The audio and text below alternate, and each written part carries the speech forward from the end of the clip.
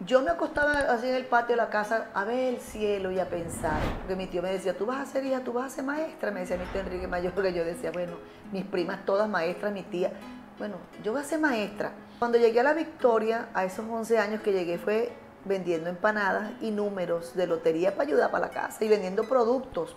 Empieza Reinaldo Armas a sonar, Cristóbal Jiménez, Reina Lucero, pero Reinaldo era nuestra familia, conocido de Zaraza, Santa María, en Marinas, y vamos a ese gran evento, éramos las grandes invitadas. La gente decía, no, que va, esa pollita no le va a ganar a María Carrizales. ¿Cree que las redes ahorita tienen más impacto que en el momento lo tuvo la radio, hablando de que una canción se hiciera viral? Yo quiero una canción como Caballo Viejo. Imagínate tú. Y un día se llegó Simón con una letra y me dijo, mira muchachita, ven acá. Y le dijo a Héctor Hernández, el gabán que tocaba la bandola, mira, buscando un tono aquí que le voy a cantar esta canción a esta muchachita. Y empieza a cantarme La Flor de Saraz. ¿Te gusta? Sí, año 96. Bueno, es tuya. Dicen que el primer amor se quiere y nunca se olvida. Y Dani DH Podcast llega a ustedes gracias a WeWork Apps, Agrocars, Bodegón El Rey, demasiado bueno, Tizas Burger, Ari Express, siempre listo, siempre rápido, y Juancho Morales. ¿Qué tal amigos? Yo soy Dani DH y bienvenidos al quinto episodio de mi podcast La vida de un artista llanero. Y el quinto episodio y el último de esta primera temporada. Qué honor cerrar esta primera temporada con esta artista que van a ver a continuación, que la han apodado con seudónimos como eh, La Soy Solita del Llano y el más conocido, La Flor de Sarasa. Con ustedes, Rumi Olivo. Bueno amigos, un saludo muy especial para todos mis paisanos y a todos mis compatriotas venezolanos fuera y dentro del país. Un gran abrazo, o dentro y fuera del país, un gran abrazo para todos. Y contenta pues con esta conversa que voy a tener con Dani. Gracias. Bueno, para mí es un honor que que esto se, haya concretado y que usted me dé la oportunidad de contarme su historia, porque como dice el nombre del podcast, la vida de un artista, porque a veces solo lo vemos en el escenario, y, pero ¿qué tanto tiene que pasar una persona, por ejemplo, con 40 años de trayectoria como usted? O sea, ¿de dónde viene Rumi Olivo? Se pasan muchas cosas. Después que uno las, que las pasa y las cuenta, pareciera que no fueran tan tan significativas hubiesen tenido tanta importancia, pero es parte del proceso para lograr eh, escaldar los peldaños que has logrado a través de la experiencia, el aprendizaje, pero con disciplina, con comportamiento, con fundamento. Y, bueno, a mí particularmente, yo vengo de una familia muy humilde económicamente, eh, desde Sarasa, donde nací en un campo llamado Las Placitas, eh, muy cerca de Sarasa Ahí estuve hasta los eh, siete años que después me llevaron al pueblo a estudiar en una escuela de allá y em, pero compartía mi vida entre el pueblo y el campo porque las vacaciones, los fines de semana cuando podían buscarme al pueblo, me buscaban y yo me iba para el campo. Disfruté mucho mi infancia en el campo, tuve mucho aprendizaje porque el campesino desarrolla mucho la intuición, por todas las circunstancias que vive y por todas las cosas que aprende del mismo paisaje, del mismo ambiente, eh, las mismas vicisitudes y necesidades que tienes, te enseñan y te muestran con qué facilidad puedes desenvolverte en la vida sin tantas cosas, sobre todo materiales, y enriquecer tu vida aprendiendo de ese mismo ambiente. Yo tenía muchas carencias materiales, pero nunca las, nunca las identifiqué porque tuve el amor muy grande de mi padre, consentida, querida, amada, y de mi madre, abnegada y siempre con nosotros. Una infancia muy libre, corría por bajo los aguaceros, descalza, me bañaba en las lagunas, este, iba para el campo con mi papá a sembrar en los conucos, en el conuco, él abriendo el surco y nosotros, mi hermano y yo, sembrando las semillas de frijol, de maíz. Eh, recorríamos los campos en épocas de Semana Santa, iban a pescar y nos llevaban. Lo que no aprendí fue a nadar, pero siempre allí con ellos. Con mi papá iba para las galleras, porque era su compañera para todas partes. Mi papá me llevaba hasta para para los juegos de gallo, para, para las peleas de gallo. ¿Nunca hubo celo entre sus hermanos? Mira, sí, te voy a ser sincera, hubo un poco de celo, pero también es que yo me convertí como en la mamá de mis hermanos después que crecí, porque éramos muchos eh, y... 16. Eh, sí, 17 embarazos tuvo mi madre, yo fui la cuarta hija, después de mis tres hermanos mayores, ella eh, tiene a mi papá, viene mi papá, una pareja nueva, y este, mi padre no había tenido hijos. Y me recibe a mí como su hija. Y mi mamá decía, qué bueno porque ya no voy a tener más hijos, porque ya este hombre no da hijos. Entonces estaba su Y de hecho yo nací en el campo, en una batela va un día 22 de enero, en la, de la tarde, mis abuelos me fueron los parteros, mi, abuelo Gregorio Padrón y mi abuela Felipa Olivo, eran los parteros de la comunidad porque mi abuelo era el comisario y representante de la comunidad y también eran parteros. Y no hubo chance para que me fueran a parir al pueblo y prepararon ahí en el campo, en una batea de lavar, todo lo que es la, los la, indumentaria para atender una mujer en el parto, el agua caliente, la batea, todos los paños, todo lo que se requería. Y mi papá, cuando y que me vio nacer, y, se le iluminaron los ojos, decía él. Y el amor que mi papá sembró en mí, eh, imprimió en mí, como su primera hija, fue muy grande. Él me adoraba, me quería muchísimo y me consintió como no tienen una idea. Mi mamá decía que ya yo no iba a tener, ella no iba a tener más hijos después de eso. Resulta que se desprenden después de mí nueve hermanos más, que son los Olivos Ramírez de esta camada después de mí. Entonces, claro, mi hermano que me seguía a mí era hijo varón, el primer hijo varón de mi papá, José Antonio. Él siempre estábamos jugando y compartíamos. Yo no siento que haya tenido realmente, a veces las muchachas le decían, sí, porque los ojos suyos, son Rumi. Eh, pero allí no hubo eh, de parte mía esa, quizás esa diferenciación o, querer imponerme como consentida, porque más bien yo me convertí en la mamá de mis hermanos. Porque cuando me traen a la victoria, que ellos se vinieron un año antes, a los 11 años, yo veo, vengo a una realidad que no había vivido en el campo hermoso donde nací, con aquellos paisajes, con aquella libertad de las que le hablé al principio, con aquella armonía entre el campo, lo que hacíamos, los cuentos, el amor, las fiestas, todo era una fiesta en mi casa, los velorios de Cruz de Mayo, el 15 de agosto se cosechaba y entonces era el Día de las Marías y se celebraba con cachapa, cochino, era una fiesta. Una familia el, el 19 de marzo era una fiesta, Día de San José se le pagaba la promesa a San José, de donde lo tuvieran lo traían en un nicho y le pagábamos promesa con unos manitos y, crucecitas y piecitos de, oro por la promesa y por lo que nos había ayudado a, a conseguir. La cruz de mayo era para que hubiese bastante cosecha. Entonces todo era una fiesta, todo era un cuento, una alegría. Cuando llego a la victoria, me consigo con otra realidad, una cantidad de hermanitos pequeños, yo también pequeña, pero la más grande, la que tuvo que fajarse con la mamá y el papá, echar para adelante esa familia. ¿Ya cantaba? Había cantado en la escuela, pero muy poco. Pero no tenía esa pasión.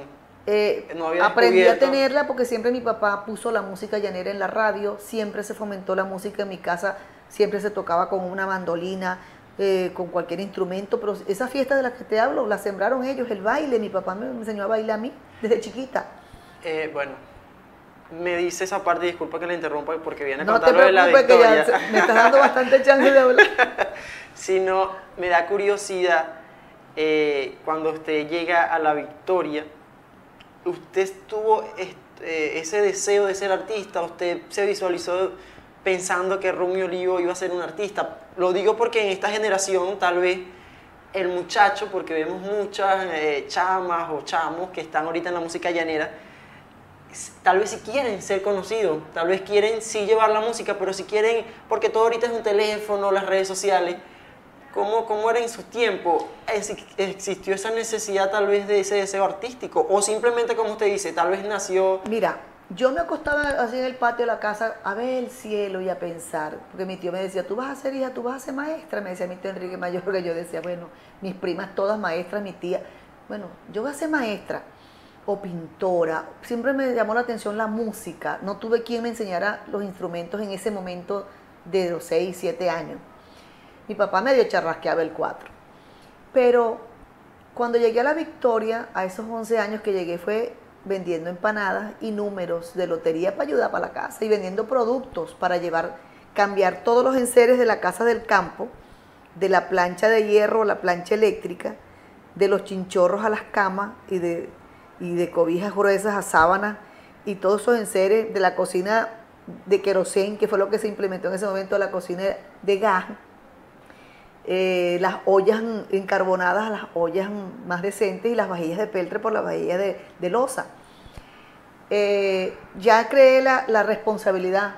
Yo veía a mi papá muy solo echándole yo decía de alguna manera, mamá, hazme unas empanadas, que yo voy a ir a vender empanadas para la calle. Y yo hice una cantidad de público, de gente, y en ese barrio donde llegué a la Victoria el 23 de enero, porque había muchos araceños. Y empecé a, conocer gente y a hacer amistad y a vender los números, los productos. Me ganaba cada, por cada caja de producto me ganaba regalos para la, y era para mi hogar, para mi casa. Pero a los 12 años este, me invitaron a cantar en un conjunto de aguinaldo de la Victoria de parranda. Los parranderos del 23 de enero, los esposos Noria, Argenis y Carmen de Noria.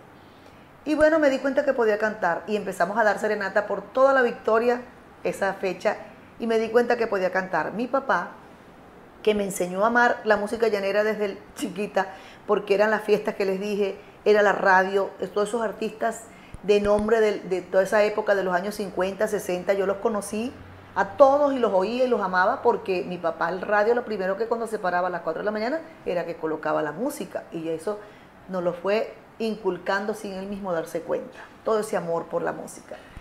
Cuando me doy cuenta que puedo cantar y que mi papá se hizo asiduo porque era muy amante de la música llanera, empieza Reinaldo Armas a sonar, Cristóbal Jiménez, Reina Lucero, pero Reinaldo era nuestra familia, conocido de Saraza, Santa María, nuestro pariente por mi tío Luciano en Guayma, que era su tío de sangre y era nuestro tío de afinidad, y había esa, esa relación porque mi papá también es de Guatacaro, donde nació Reinaldo y conocía a Modesti, conocía a toda la familia. Entonces, cada canción que se ponía, eh, pasábamos a Sabanía en las radios donde Reinaldo estaba empezando a pegar y era nuestro orgullo, y yo me convertí en una reinaldera de primera. Entonces, cuando yo veo, mi papá iba todos los domingos a ver a los artistas en vivo a un programa de radio que se hacía en La Victoria, Estado Aragua, YBLQ, AM, una emisora que estaba frente a la Plaza Rivas de La Victoria. ¿Y qué iba a hacer mi papá? ¿Qué me podía regalar? Mi papá me llevaba con él a comerme un helado eh, debajo de la emisora, eh, eh, era una segunda planta, había una heladería muy buena y vendían cotufas. Me compraba una cotufa, me regalaba un helado y me llevaba a ver los artistas en vivo al programa de Tomás Torres Molina, Cantares de Venezuela se llamaba el programa. Iban Ligia del Llano, Salvador González, Reina Lucero, todos esos artistas que estaban sonando en esa época. Y me hice tan asidua, conocí ahí al maestro Julián Piñero Vegas y a Jaime Álvarez, otro artista, y un día mi padrino Torres Molina me dice, mira muchachita, tú no te atreves a cantar. Estaba también en la producción Juan Martínez. Y yo toda asustada le dije, bueno, y entonces me acompañaron una periquera de Reinaldo Armas llamada Amigos Míos. Amigos míos, perdonen si le molesto con mi criollada tan humilde y tan sencilla, pero hay motivos que ocultar nunca podré, porque lo venezolano forma parte de mi vida. Asustada. Y me dijeron, mira muchachita, pero tú puedes cantar. Y ellos y que creían que me veían así y decían que yo era que yo venía de otra parte, pues que me veían muy fina, acomodadita. Esta muchachita era que era y resulta que empecé a ensayar con el maestro Julián Piñero Vegas y me bautiza Tomás Torres Molina como la Soy Solita del Llano, allá en el Club El Estadero de la Victoria, en un programa en vivo. Y empiezo a darme a conocer, entonces alternaba la música, porque el maestro Julián Piñero Vegas me dijo, tú no quieres cantar en mi club allá en Suata de la, Suata de la Victoria. En Suata, este, yo los fines de semana toco en el club y bueno, te pago me acuerdo, eran 250 bolívares. Y yo imagínate, estudiaba en el liceo ya, estudiaba en el, liceo, empezando a estudiar en el liceo, y yo decía, oye, está bien, voy, y empecé a cantar todas esas canciones de Reinaldo, y empezaba sábado y domingo, iba a ese sitio, primero que ensayaba, practicaba, y aparte de eso, producía más plata de lo que hacía, de lo que había hecho vendiendo productos y vendiendo empanadas. Y entonces, oye, buenísimo la motivación. Y me convertí después, cuando me bautizan como la Soy Solita del Llano, en una de las cantantes más reconocidas en la Victoria Estado Aragua.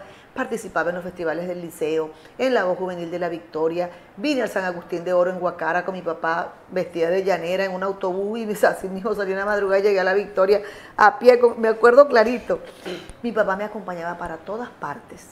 Era mi compañero y representante porque yo empecé muy chama como a los 15 años. Gané la panoja de oro en el año 82 en Valle de la Pascua, que es uno de los festivales más importantes de nuestro país de la música folclórica, con un primer lugar, voz Nobel Recia, de Tomás Torres Molina, el tema Pajarillo de mi tierra. Pregúntame, porque te, estoy dejando hablar. No, yo estoy aquí escuchando esta enciclopedia y, me encanta porque de verdad es una yo siento que la señora Rumi Olivo, no siento, es así, es patrimonio de, del país. Y usted dice que tal vez eh, comenzó, obviamente, mucho después del señor Reinaldo Alma. Más adelante me contará cuando cantó y, y él le dio esa gran oportunidad por 11 años, estuvo cantando. Pero yo como joven, yo siento que, y sin faltar el respeto, usted está al nivel del señor Reinaldo y eh, bueno, después el señor Jorge Guerrero y todas estas personas que tienen ya mucho tiempo defendiendo el folclore y, bueno, no sé, es un orgullo tenerla acá. Estoy emocionado. Bueno, ¿qué te puedo decir? Después de, participar en festivales, ganar la panoja de oro, ya fui ganando mucho más nombre. Y eso lo eh, eh, empieza a tener esa pasión o cuando empieza a a tener el trabajo aquí en la Victoria, a relacionarse. Cuando me doy cuenta que puedo cantar y que me defendía muy bien, ah, no, y entonces sale Reinaldo, por supuesto, estaba pegadísimo y era como el guía, la voz guía de nosotros. Reina Lucero y Cristina Maica. Entonces yo decía, admirando esas voces tan bellas, distintos estilos y pegadas las dos. Y yo decía, pero yo tengo que ser diferente. Entonces yo llegaba del liceo me acostaba en un chinchorro a descansar porque tenía que caminar bastante para llegar del liceo a la casa. Y empezaba a pensar, yo tengo que ser distinta, no me puedo parecer. Y entonces iba a los bailes de joropo, central, en Guacamaya, y bueno, que me invitaban a cantar y alternaba con algunos artistas. Y al principio, cuando empecé, que llegué a la Victoria, no me gustaba la música cuando la escuchaba en la radio. Pero cuando escuché que empecé a ver cómo cantaba Brígido Río, Silvino Armas, eh, el Perico de Miranda, en esos bailes de tan bellos, cómo se vestían, Magín Rodríguez, cómo bailaba, cómo tocaba Salvador Rodríguez eh, de San Mateo, un arpista central, y tantos otros artistas, empecé a ver el estilo, la elegancia con que bailaban el joropo y la destreza que tenían esos improvisadores para cantar tan bueno y fajarse toda la noche en un baile de joropo para que la gente bailara y empecé a ver que el joropo llanero, que en el, joropo se bailaba distinto en el centro que en el llano. Y cuando empecé a ir al festival a, a, San Fernando, que iba para el Florentino de Oro, veía que en Apure se bailaba distinto. Y entonces cuando vengo, grabo el primer disco, conozco al maestro Héctor Chispurtado, que es el padre de mis hijos, y quien me enseñó bastante, que Dios lo tenga en la gloria y quien tengo que agradecerle siempre porque si ya yo venía con esa inquietud de festivales, él me ayudó mucho, me indujo a aprender a cantar, a respirar, a respetar las comas, a respetar, a respetar la respiración, a saber que cantar no es gritar. El que tiene una voz que puede llegar a un tono alto, como mi compadre Armando Martínez u otros cantantes, ya eso es su estilo y es su naturaleza pero hay gente que hace un esfuerzo extraordinario por demostrar gritando que, que, cantante y eso no es así. Cantar es saber modular, jugar con las melodías, con los tonos, para que tú puedas tranquilamente llegar a la edad que yo tengo, todavía cantando muchas canciones en el mismo tono. Entonces eso lo aprendí. No había que, claro, yo llegaba con un ímpetu tan grande y era muy fuerte. Cuando, cuando cantaba usted, eh, ¿recuerda alguna canción? Por ejemplo. Cuando estaba empezando, tal vez no una canción de Rumi. Sí, de, sobre todo de Reinaldo, que yo me las aprendí todita. Incluso, dicen que el primer amor se quiere y nunca se olvida. Qué bonita es la gardenia, qué delicia su perfume si se siembra y se cultiva. Bueno, todas, todas esas que pegó. Y algún artista decía, no, esa muchacha lo que canta es puras canciones de Reinaldo Arma, esa no canta una canción de Juan Vicente Torrealba. Y ve cómo es la vida, después grabé un homenaje a Juan Vicente. Pero eso me lo dio el aprendizaje, saber modular, tratar las melodías con sutileza. Entonces yo cantaba lo sutil como sutil, lo recio como recio, como los hombres, como los llaneros, que ahora se estila mucho en esta nueva camada, en esta nueva generación, que cantan los recio, recio. Y bueno, para no perder el hilo de lo que te estoy diciendo, eh, me enseñó mucho el maestro, grabé la primera producción con él, ¿Pa' qué te voy a querer? Canciones, letras de él, y bajo su producción y dirección y acompañaba. Y empecé a pegar en Barinas. Empezó a sonar mis canciones en Barinas y entonces me voy a Barinas porque allí fui muy acogida con mucho amor, muy bien recibida. Y soné en todas las radios de Barinas, pegué muchísimo el tema ¿Para qué te voy a querer? Qué desastre, qué locura, y de allí comencé. Estamos hablando del año 88. Primera producción musical mía, año 88. Tenía como tres años en el canto, cuatro sí, años. Sí, estaba yo, antes de grabar eso, formé parte de la orquesta La Propia un año, cantando música bailable y música llanera, porque el director era el maestro Héctor Chispurtado, pero era una orquesta de mujeres, la orquesta de Doris Salas, donde la mayoría eran cantantes y músicos mujeres. Y hacía un show criollo con mujeres en la mitad del show de Doris Sala y aprendí a cantar más música bailable. Cuando en ese interín de la música bailable, Nelson Aliso me invita, ya había ganado la Panoja de Oro y había participado en el Florentino de Oro. Me invita a participar, a cantar con él en una orquesta en Caracas todos, los días, de martes a domingo, porque le iba a hacer la suplencia a una cantante allá en las trompetas de México. Bueno, se hizo tan larga la suplencia que grabé un disco con Nelson Aliso llamado Mini Mezclas Tropicalísimas, Nelson y Rumi, que lo promocionaba, lo promocionaba Sonográfica, de donde son los cantantes. Y bueno, ahí canté eh, canciones con Nelson Aliso a dúo, canté canciones de Karina que había pegado mucho en esa época.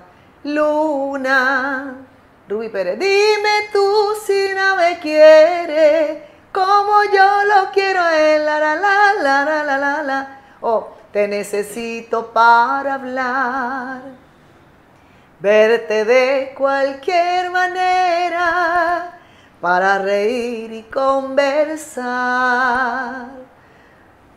Sé tu voz igual al viento, canciones de Lani Hall, grabé esa producción.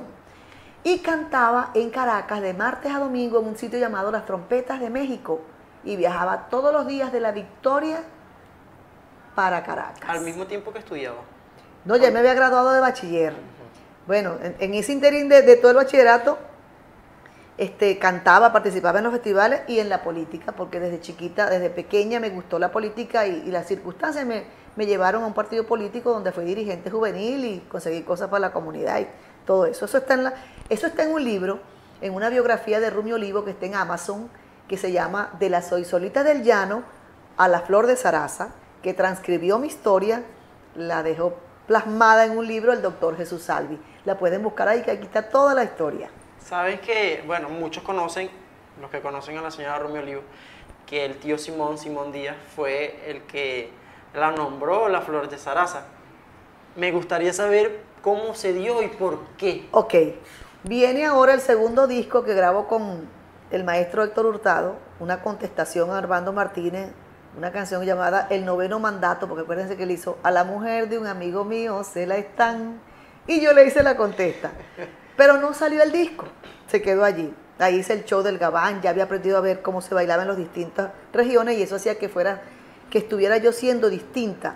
Y cuando cantaba en la orquesta en Caracas, era tanta la añoranza en ese break que hice de la música llanera tanta la añoranza del campo que cuando mi compadre ponía el teclado con el mejor teclado sofisticado que tenía, lo que había traído nuevo Nelson Aliso, me decía, ¿en qué tono cantas tu kirpa? Yo le decía, en re mayor.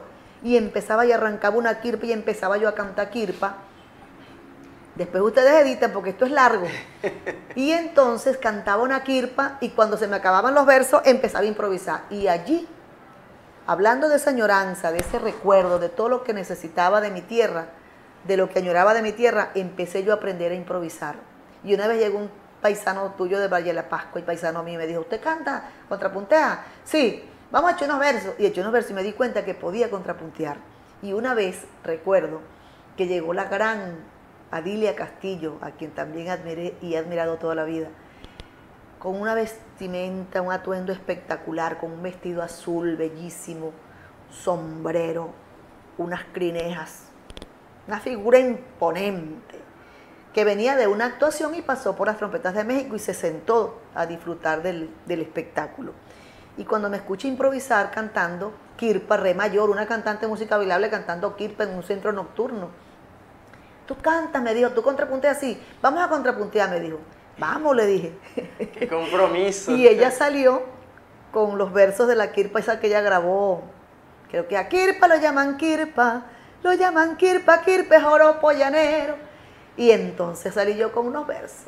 Y se le acabó el repertorio y yo seguí improvisando. Y ahí nos ganamos, me, ganó, me gané su respeto, su admiración y su amistad de doña Dilia Castillo. Después fue gran amiga. Cuando estoy allí en ese interín que canto, salgo de allí, en el año 85 fue eso, 84-85 Orquesta La Propia y con Nelson Aliso. 86-87 preparo mi disco, mi primer disco, ¿Para qué te voy a querer? con el maestro Héctor Hurtado. 88-89 el mm, Contestación de la, a la víbora del mal, se llamaba el disco El noveno mandato, que no es desear a la mujer del prójimo. Entonces, de allí empiezo a recorrer caminos, ya Varinas me tenía como un artista, me reconocía, me, ponían, bueno, me daban oportunidades en las radios. Fue la primera vez que contrapunteé con María Carrizales, que era una coplera muy, la única mujer que contrapunteaba en el país en ese momento y muy connotada. Y hace un festival 1400, Radio 1400 en Barinas y vamos a ese gran evento, éramos las grandes invitadas por ese contrapunteo y la gente decía, no, que va, esa pollita no le va a ganar a María Carrizales y nos bajamos a contrapuntear y recuerdo esta anécdota que María de la Rabia sacudió el micrófono contra el piso y yo salí como desde Montoya, eh, eh, airosa, pero y desde ahí nos hicimos amigas y le dije, María, no vamos a pelear, no vamos a tener esto como una competencia, vamos a aprovechar esto, vamos a hacer una gira nacional con un contrapunteo llamado Guárico y Portuguesa. Y entonces recorrimos muchas partes de Venezuela contrapunteando María Carrizales y mi persona. Pasa eso, paso al elenco de Hugo Blanco por seis meses, fui invitada, no llegué a grabar con Hugo Blanco, y fue cuando ya Reinaldo me veía en todos esos escenarios y le iban diciendo, mira Rumi, Sarasa, Reinaldo me conocía pues, y un día coincidí con él en un evento y a los tiempos le llevé el primer disco y le dije, mira, esto fue lo que yo grabé, este es mi primer disco, escuchó y me dijo, mira, eh, yo estaba con el maestro Hugo Blanco, pero bueno, realmente no concretamos, me dijo, y ya como yo tenía la experiencia, ya había visto que Reinaldo había tenido en su equipo años atrás a Armando Martínez, había invitado a Sexagésimo Barco, Rogelio Ortiz, Che Hernández Prisco, Cholo Valderrama de Colombia, que él recorrió el país y fuera del país con esos grandes artistas. Entonces yo fui allá y le dije, chico, ayúdame, dame una oportunidad, dime qué te parece esto. Y me dijo, mira, tráeme búscame canciones, búscame canciones y tráeme un material. Me hace una producción, me hace un tema nuevo que se llama Lo sabroso de un guayabo. Y hace un disco que lo presenta Lo sabroso de un guayabo. Con ese tema arranqué yo. Reinaldo Armas presenta a Rumi Olivo, Lo sabroso de un guayabo. Y empiezo a recorrer el país con Reinaldo Armas en el año 90-91, Lo sabroso de un guayabo. Vamos a separarnos por un tiempo para ver qué ocurre, para ver qué pasa. Todo eso está en Spotify, lo pueden buscar. Entonces recorro el país con varios temas inéditos de Reinaldo Armas y otros compositores. El segundo disco fue Ojo Color de los Pozos, un homenaje a grandes cantores.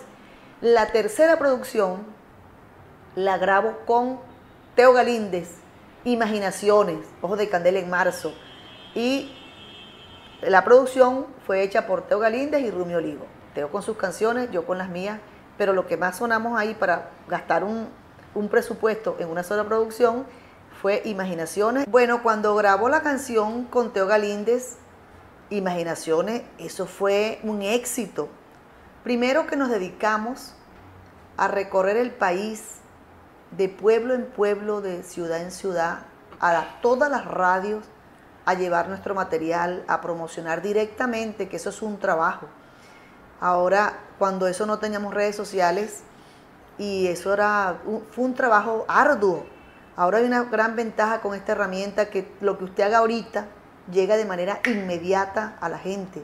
Y eso es una maravilla, eso es una bendición de verdad. Las redes sociales son muy importantes, es una herramienta muy valiosa. Eh, a veces perjudica, a veces beneficia, hay que saber manejarla. Usted dice eso, me, me encanta que, que haya tocado ese tema cree que las redes ahorita tienen más impacto que en el momento lo tuvo la radio, hablando de que una canción se hiciera viral.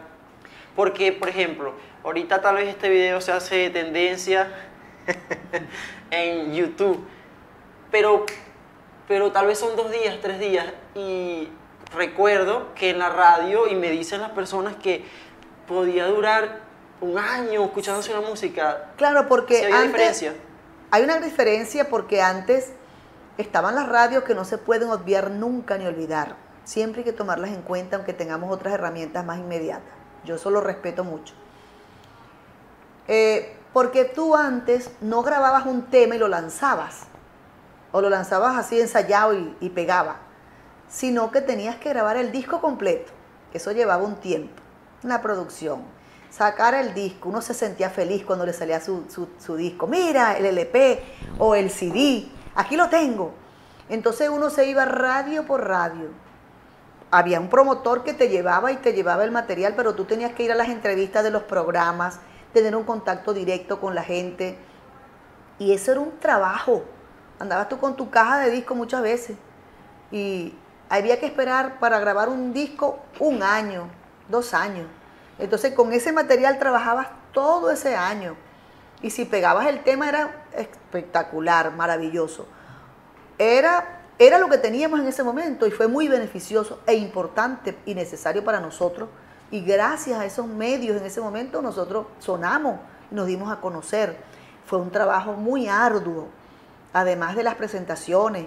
Este, hoy día, el que ha tenido la facilidad para pegarse y hacerse viral con las redes sociales es una maravilla, porque llega de inmediato aquí y al mundo. Nosotros tuvimos la oportunidad de empezar por nuestro país y por Colombia, que son los países que aquí en toda Venezuela y en Colombia en algunos departamentos se suena la música llanera. Ahorita no, ahorita tú llegas, este, el fenómeno que está pasando con estas muchachas y en este caso con Emily, Emily desde chiquita empezó a promocionarse por las redes y empezó a la gente a conocerla y a darle valor a su trabajo, a sus deseos, a sus sueños. Y bueno, empezó la muchachita a sonar, gustó, gustó, gustó y pegó con un tema, pero lo viralizó y ha llegado a otras latitudes, por lo que yo, por cierto, estoy muy contenta y muy feliz por ella, primero porque me reflejo en ella cuando mis comienzos con muchas necesidades y carencias y muchas situaciones.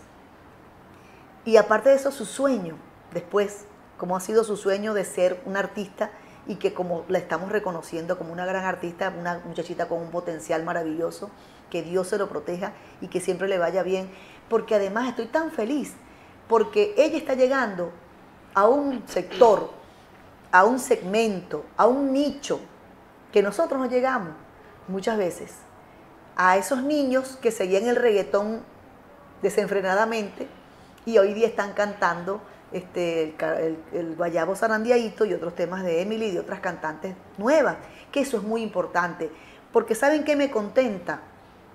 Que, ese, ese, que nuestra esencia, ese nicho va a cultivarse y muchos de allí saldrán cantando, porque aquí hay un semillero grande de música, de cantantes de música llanera, tanto niños como adolescentes.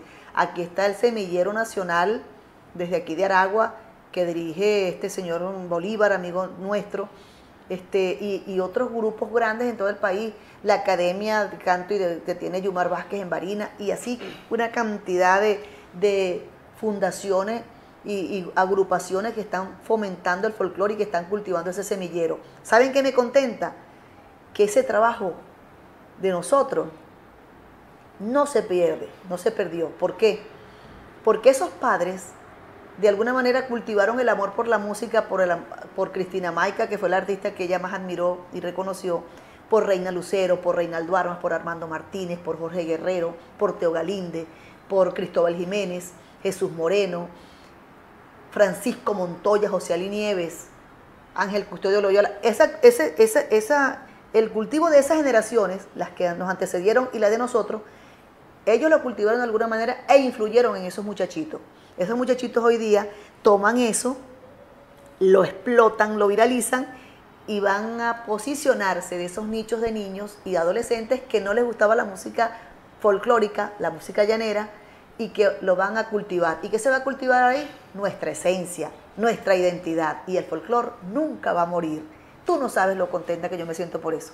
Volviendo a lo que es Rumi, graba Imaginaciones con Teo Galíndez, recorremos Venezuela, Colombia, el mundo. Fuimos a Estados Unidos, España. Llevamos ese tema por donde quiera que ha gustado mucho, que gustó mucho y se quedó ahí en el corazón, en el chip y en el sentimiento del venezolano, tanto del que está aquí adentro como el que está por ahí por fuera. Después que grabo Imaginaciones, viene el disco de año 96 cuando ya yo conocí a Simón Díaz, porque por andar con Reinaldo Armas, con quien formo el elenco en el 2000, en el 91 que te dije que grabé Los Sabrosos en Guayabo, posterior Ojo Color de los Pozos, viene el tercero. En ese interín, recorriendo Venezuela y por Reinaldo, conozco a Simón Díaz, quien aprendió a quererme, a admirarme. Me hice asidua visitante a su programa de radio, de televisión en el Canal 8, al mediodía, Simón Díaz Casi todas las semanas asidua a su programa invitada porque vivía aquí cerca en el estado de Agua. Pues. Entonces, yo le decía, tío, él me tenía mucho aprecio, mucho cariño y admiraba mi, forma de, cantar y de, de, actuar, de interpretar mi música, de bailar, de contrapuntear. Y yo le decía, tío, mire, yo quiero una canción como Caballo Viejo. Imagínate tú. Y un día se llegó Simón con una letra y me dijo, mira muchachita, ven acá. Y le dijo a Héctor Hernández, el gabán, que tocaba la bandola, mira, buscame un tono aquí que le voy a cantar esta canción a esta muchachita. Y empieza a cantarme La Flor de Sarasa. ¿Te gusta? Sí, año 96. Bueno, es tuya. Él, él la compuso. Claro. Y se la regaló a usted. La hizo exclusivamente para mí porque yo soy la flor de Saraz.